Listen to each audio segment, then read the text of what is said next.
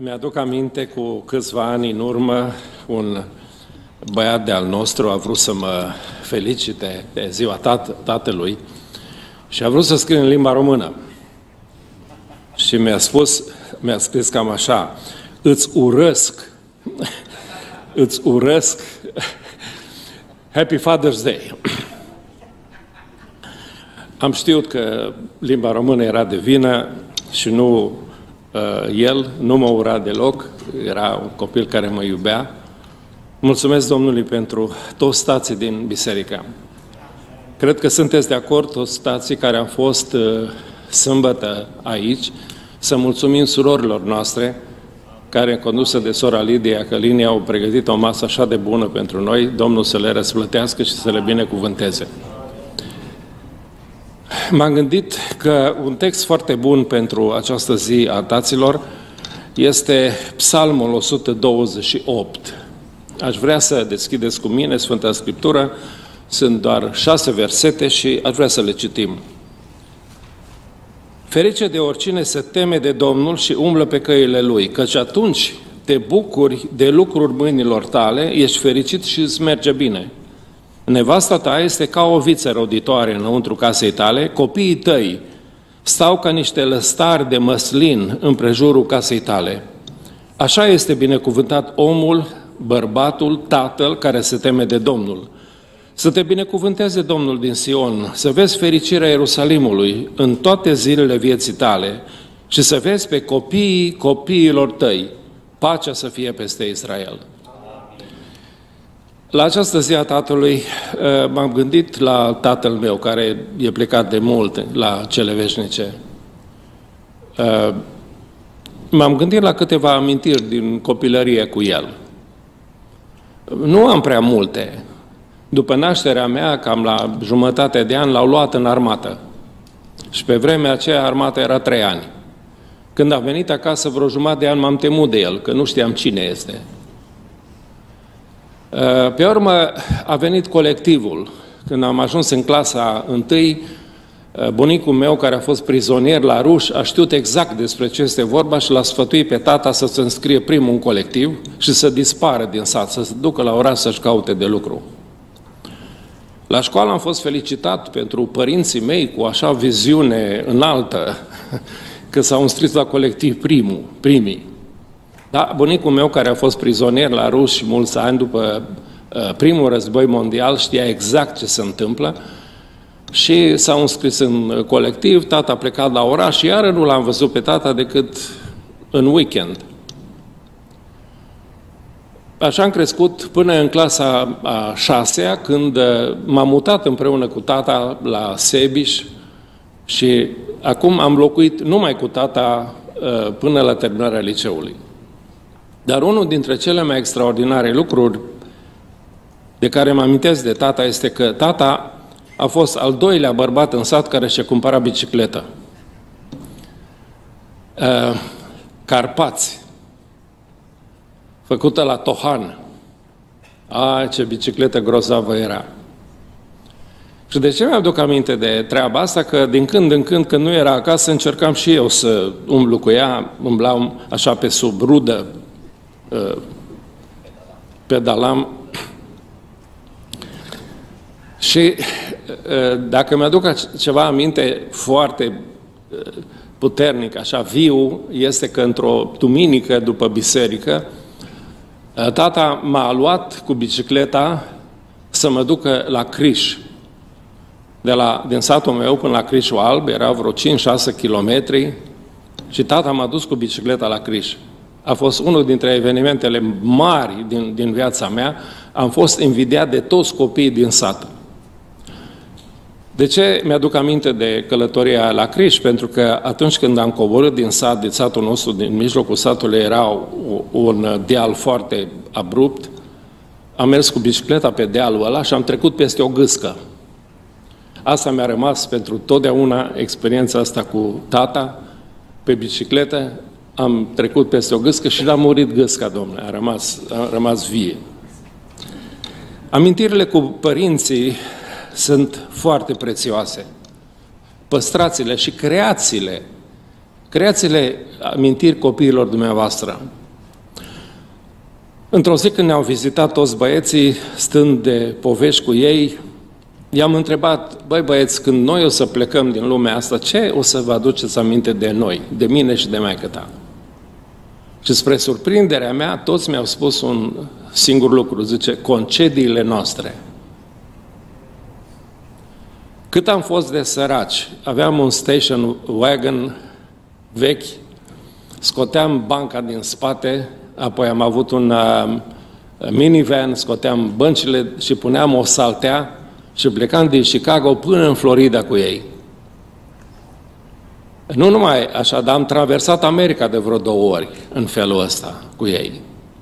Și copiii îmi spun că dacă își aduc aminte de ceva din copilărie, sunt aceste călătorii pe care le-am făcut împreună în concediile noastre. Creați asemenea uh, amintiri copiilor dumneavoastră. Astea rămân neșterse în conștiința lor. Astăzi, de ziua Tatălui, în anul acesta în care noi trăim acum, ar trebui să ne amintim de valoarea acestei slujbe dumnezeiești de a fi tată. Să ne aducem aminte că trăim într-o națiune însă în care bărbăția, în general, inclusiv rolul bărbatului în casă este diminuat și uh, există un război declarat și declanșat împotriva bărbaților din America. Nu ne vine să credem pentru că noi trăim într-un fel de bubble aici și încă noi, bărbații români, încă mai avem reputație bună în fața copiilor și a uh, comunității noastre. Dar asta nu se întâmplă uh, același lucru în, în jurul nostru. 24,7 milioane de copii din America trăiesc fără tată. Pentru că această societate urăște familia, încurajează divorțul, uh, încurajează despărțirea bărbatului de nevastă, abandonarea copiilor. Bărbații, în general, sunt întâmpinați peste tot în această societate cu ridicol, resentimente, înjosire, ostilitate, părtinire. Este așa un fel de reacție antimasculină în America. Mișcarea de eliberare a femeilor din anii 60 și 70 s-a transformat în grupuri care învață ura și alimentează conflictul împotriva bărbaților din familie.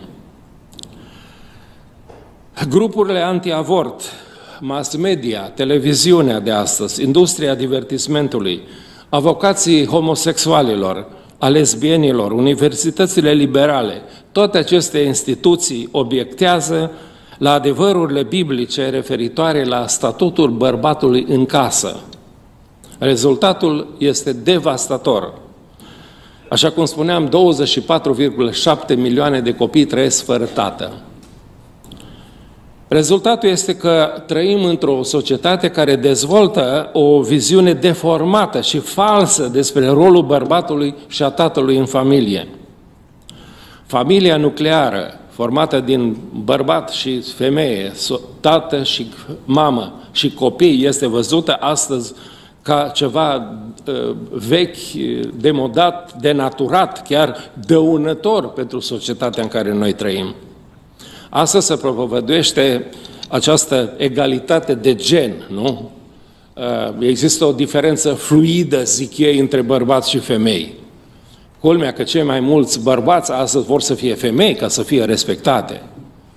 La Eurovision de la, uh, din Europa, unde au participat și români, au luat premii anii trecuți niște bărbați uh, îmbrăcați muieri și să vezi o femeie cu barbă și cu mustață este un lucru foarte ciudat, nu? Dar acest, acest, aceste uh, fenomene lipsite de, de naturalețe și de normalitate, nu? Sunt promovate astăzi în societatea în care noi trăim. Aș vrea să spun în continuare că acest război declarat împotriva bărbaților uh, produce victime peste tot. Se pare că cel mai persecutat uh, uh, element al societății americane de astăzi este bărbatul și bărbatul alb. Mai ales între 18 și 50 de ani. Dacă ai altă culoare și mai închis așa, ai noroc că ăștia sunt uh, au trecere, o să fie angajați înaintea ta, pentru că au altă culoare. Televiziunea și filmele, reclamele și toate serialele astea de televiziune, sitcoms, nu? Uh, îl prezintă pe bărbat ca un aiurit, un, un tip periculos, uh, un, un tip care, pe care nu te poți baza, care produce scandaluri și suferințe în familie. Când am venit în America, am fost scandalizat de serialul acela All in the Family, nu? Uh, cine și aduce aminte de serialul All in the Family? Toți în familie, Oci, Boncă, cred că așa-l chema, nu știu, cred că așa-l chema. Un aiurit, un scandalagiu, un nemulțumit, care făcea pe toată lumea să sufere. James Dobson, cel care a fondat uh, uh, misiunea aceea extraordinară, Focus on the Family, a scris aceste cuvinte care spune așa, în timp ce scriu aceste rânduri, nu există un singur exemplu de familie sănătoasă descrisă într-un sitcom, într-un serial de televiziune, care se concentrează pe un tip masculin, heterosexual, care își iubește copiii și este respectat de soția ta, sa, nici măcar unul. Trăim vremuri absolut scandaloase. Uh, dacă deschideți orice film american produs în ultimii doi ani, neapărat trebuie să fie băgați niște homosexuali în filmul acela. Să nu mai vorbesc de limbaj care este absolut execrabil. F-word la orice frază. Dacă te duci la magazin, te duci în societatea asta și vorbești cu oameni, niciunul nu folosește un asemenea limbaj. Ce vor ăștia de la Hollywood? Să, să strice toată lumea, să-i, să-i ne norocească pe toată lumea, să ne strice de cap, să introducă limbajul ăsta murdar? De ce neapărat trebuie să vezi doi bărbați sărătându-se când deschizi televizorul? Pentru că nu este ceva normal. Sfânta Scriptură în care noi credem ne-a învățat că asta este un păcat, Dumnezeu urăște păcatul ăsta al sodomiei pe care, iată, societatea de astăzi încearcă să ne-l introducă ca și ceva normal, ca și ceva normal. Atacarea bărbaților se reflectă în atitudinile și comportamentul lipsit de respect al soțiilor față de soților, a copiilor față de taților și contribuie la rata ridicată a divorțului din această societate îi condiționează pe băieții și fetele de astăzi să devalorizeze rolurile bărbaților date de Dumnezeu. Sfânta Scriptură spune foarte clar, dar vreau să știți, spune cuvântul Domnului în 1 Corinteni 11 cu versetul 3, dar vreau să știți și trebuie să știți bine că Hristos este capul oricărui bărbat și că bărbatul este capul femeii și că Dumnezeu este capul lui Hristos. Trebuie să știm asta foarte clar în această societate care vrea să ne spună că ordinea asta stabilită de Dumnezeu nu este ok. Trebuie să știm, să alegem întotdeauna ceea ce spune Dumnezeu și nu ce spune politica uh, mizerabilă a țării în care noi trăim. De ce contează acest lucru? De ce, uh, de ce este important să luptăm împotriva acestui război împotriva bărbaților? Pentru că războiul dintre sexe slăbește familia, dăunează căsătoriilor, înmulțește rata divorțului, contribuie la divorț, la separare, la suferința a milioane de oameni și de copii. El deformează mintea pruncilor noștri. Copiii vor sesisa lipsa de respect față de bărbați. Eram la liceu și unul dintre dascării noștri, pe vremea aceea așa era, efectiv ne exploata pe toți uh, copiii din casă. Bat, trebuie să tăiem lemne, să facem curățenie în casă, să ducem copiii la școală. Noi eram uh, cal, calul de bătaie. Și în timp ce eram la omul ăsta în casă, am auzit-o pe Dana, ca așa o chema, Astăzi este o, profesor, o doctoriță respectabilă aici în America. Dar pe vremea aceea Dana era uh, o fetiță de câțiva anișori care striga lui maică să ești o proastă, ești o proastă. Și maica s-a zice, taci din gură că îți dau câteva. Zice, nu, dacă și tăticul zice așa.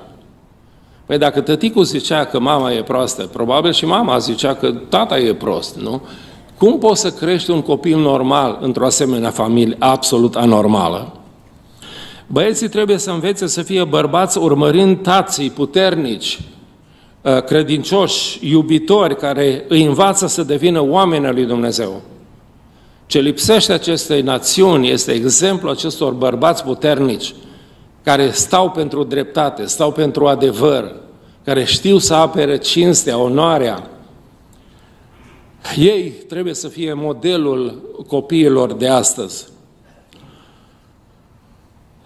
Unul din trei copii în Statele Unite trăiesc fără tată, deoarece numărul gospodăriilor biparentale a scăzut cu 1,2 milioane în ultimii 10 ani.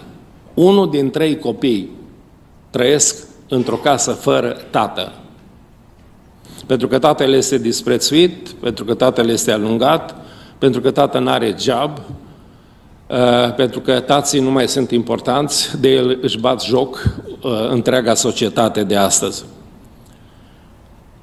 Nu departe de noi aici este o biserică mare americană, mulți dintre dumneavoastră ați fost acolo.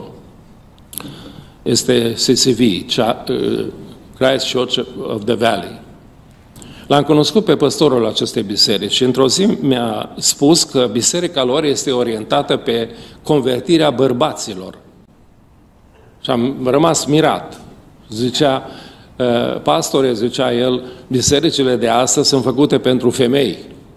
Deci femeile au cucerit uh, uh, domeniul ăsta a bisericilor, ele ale covorul, florile sunt decorate pentru femei, 90% din melodiile ce se cântă în biserică sunt feminine, zicea el. Uh, ori, zice, noi am făcut o biserică pentru bărbați aici. Ce fii atent! Cum este decorată biserica? Serviciile erau scurte, de vreo oră și jumătate, în care se făcea absolut tot. Bărbații vor ceva scurt, concret, nu, nu așa? Aveau un ecran din la uriaș, vor să vadă tehnologie bă, bă, bă, bărbații, nu? Și mi-a spus așa, zice, când se întoarce un copil la Dumnezeu, doar 5% din familiile acelea se întorc la Dumnezeu. Când se întoarce mama la Dumnezeu, numai 17% din familiile acelea se întorc la Dumnezeu. Dar când se întoarce tata, peste 75% din familiile acelea se întorc la Dumnezeu.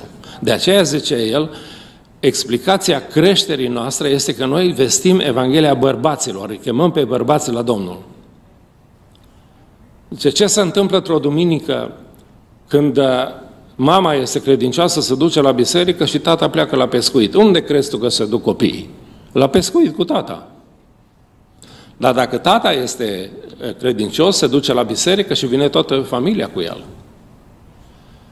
Cred că ar trebui să regândim puțin strategia de a evangeliza și comunitatea noastră românească.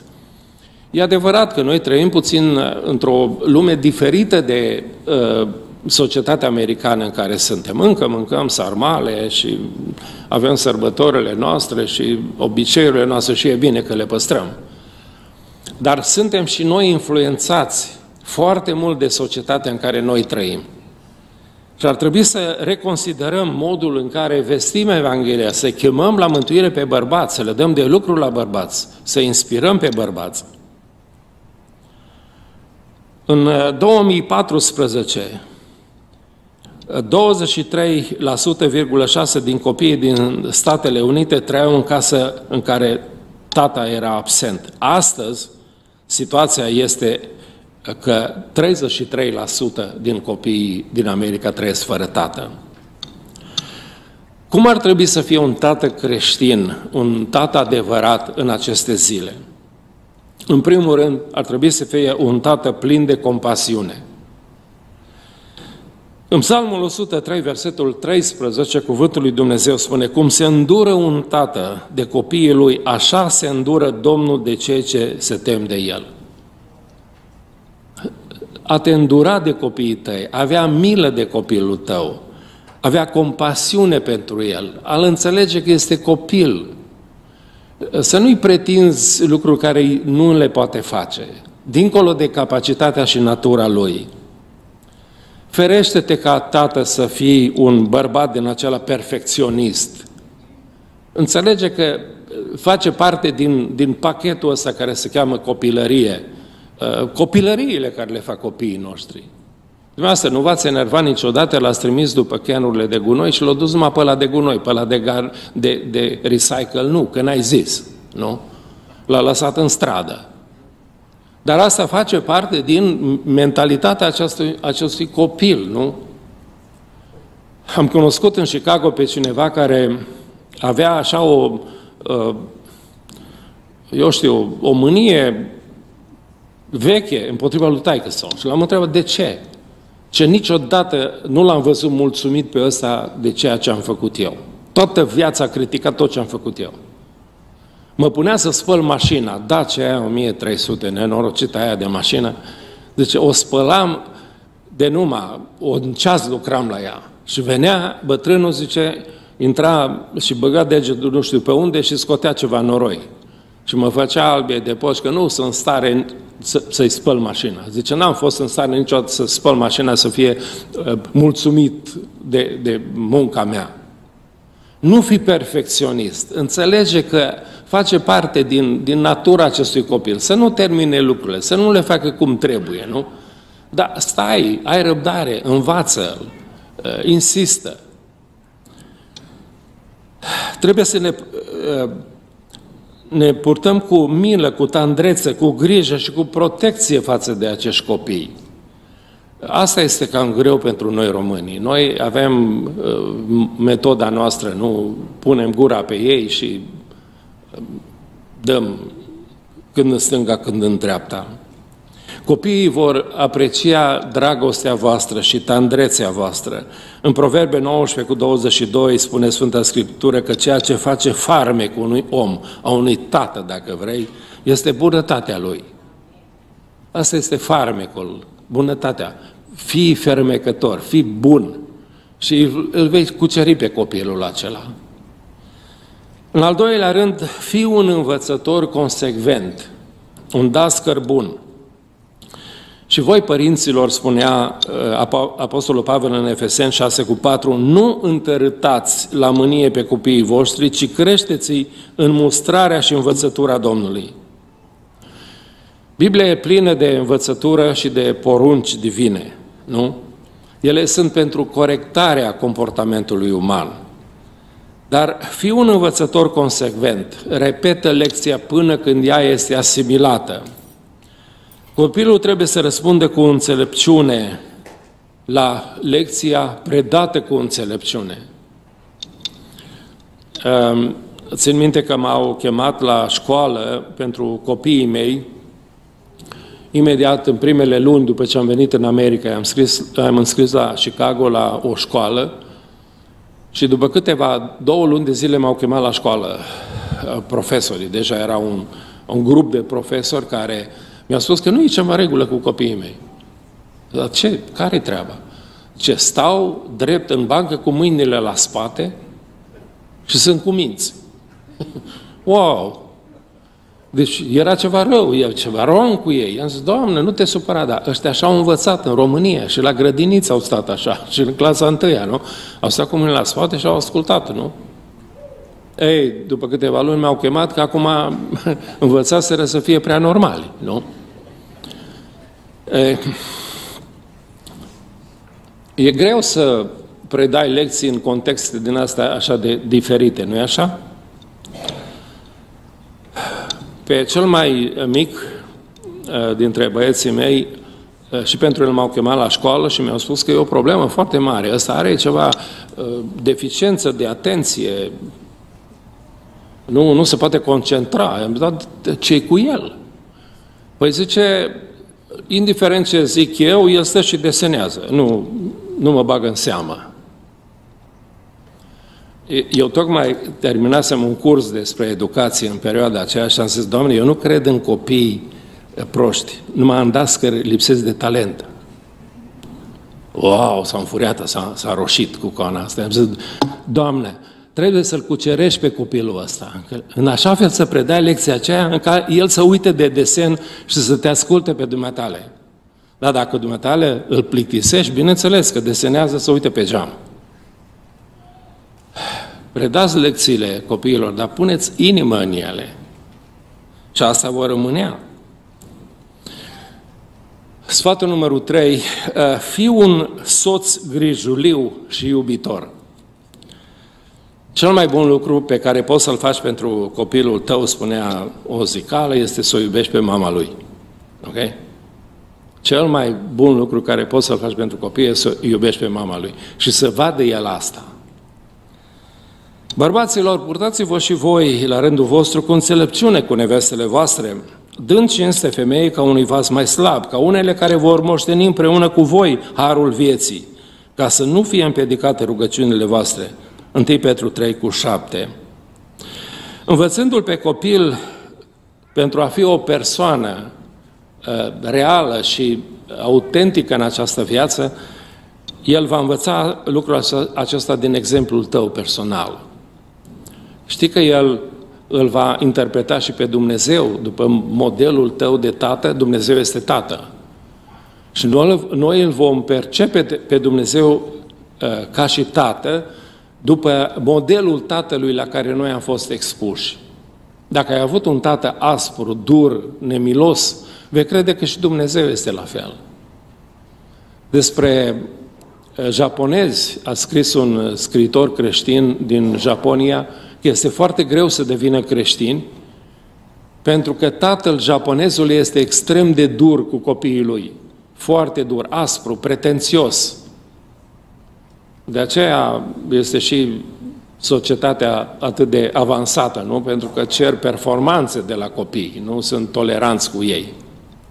Dar în același timp, spunea autorul acesta, modelul tatălui aspru este aplicat lui Dumnezeu și el, ei îl văd pe Dumnezeu după modelul tatălui lor și n-au nevoie de încă un zbir ca să strige la ei și să-i, să pedepsească. Învață pe copil pentru a fi o persoană tandră, prin tratamentul tandru al soției tale. Fii un exemplu al dragostei lui Hristos, așa cum Hristos iubește biserica, așa trebuie să-ți iubești uh, soția. Și dacă copilul mă vede că eu îmi iubesc soția, pe mama lui, el va învăța o lecție teologică absolut profundă, unică. Fii conducătorul spiritual al căminului tău. Ești chemat să fii, să fii preotul casei tale. Iosua, la sfârșitul vieții sale, a spus-o foarte pe șleau. Alegeți acum cui vreți să slujiți. Dacă vreți să slujiți Dumnezeilor străini, e treaba voastră, dar cât ce mă privește pe mine, eu și casa mea vom sluji Domnului. Fii conducătorul spiritual a casei tale. Ei trebuie să-L slujească pe Dumnezeu cu sinceritate și cu adevăr. Copiii tăi trebuie să facă alegeri care să-și conducă familia ca să-i slujească lui Dumnezeu în viitor. Închinați-vă regulat, slujiți Domnului împreună cu copiii dumneavoastră. Am fost la Hollywood acum, Florida, și la biserică am avut bucuria să predic împreună cu băiatul meu mai mare. Și mi-a venit uh, în minte uh, prima lui predică. Prima lui predică pe la 5 ani. Pe vremea aceea aveam uh, televizor ca toți oamenii din oraș, dar uh, eram binecuvântați că era numai o oră de program la televizor. Astăzi, dacă ar fi o oră de program la televizor, nimeni nu va, va cumpăra televizor. Și mai ales că știam exact ce spune. E aceeași poveste cu Ceaușescu și cu partidul se stricase sonorul și nu l-a mai, repetat, nu, mai, nu l-a mai reparat, pentru că știam exact ce spun băieții și nu mai, nu mai avea rost. Și atunci, în loc de televizor, aveam ora noastră, îi spuneam noi, care uneori durea și două, dura și două sau trei ore, în care citeam din Scriptură, cântam, ne rugam, poezi, spuneau uh, copiii poezii, și băiatul meu mai mare a ținut prima lui predică despre Iona. Singurul necaz este că nu-l puteam lămuri că Iona e bărbat și nu femeie. Pentru că după nume, nu, tot ce se termină cu A, mai ales la Românie, nume de femeie. Um, stați de vorbă cu copiii dumneavoastră, creați un timp, stingeți televizorul ăla, opriți Netflix-ul și la, nu mai știu la ce vă uitați. Uh, opriți pentru un timp, puneți telefoanele deoparte, arestați toate telefoanele și puneți-le într-o baxă undeva. Rugați-vă împreună cu ei, puneți-i să predice și înregistrați-i. O să aveți un material formidabil pe când se însoară. Ok? Pentru nunta lor. Veți crea niște amintiri de neuitat din partea copiilor dumneavoastră. Petreceți timp cu ei. Și Domnul să binecuvânteze pe toți stații din biserica noastră și nu numai de aici, ca acești stați să fie un exemplu bun pentru copiii lor și să-i ajute prin exemplu personal să-L cunoască pe Domnul și Mântuitorul nostru, Isus Hristos. Amin.